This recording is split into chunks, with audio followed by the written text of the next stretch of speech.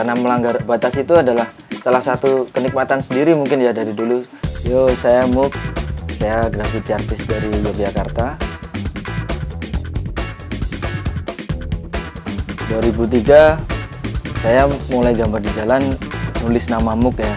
Itu dengan fonts yang saya ciptakan sendiri. Entah itu fontnya bentuknya kayak gimana yang penting itu tulisannya muk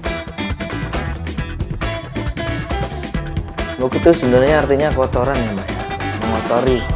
Jadi dari di awal tahun 2003 itu saya dapat nama muk itu dari kakek saya.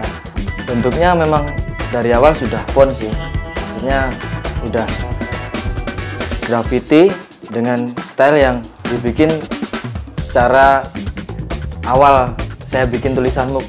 Kayak kota-kota gitu. Yang penting tulisannya muk dan itu di jalan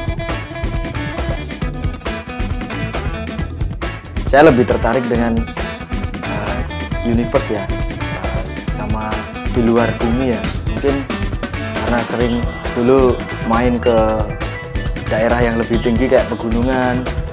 Terus akhirnya tertarik untuk menggambar UFO masih dengan gaya MUK yang orang tahu ketika gambar UFO itu adalah MUK kalau pakai cat Mowilex pertama kali 2004 apa ya? 2004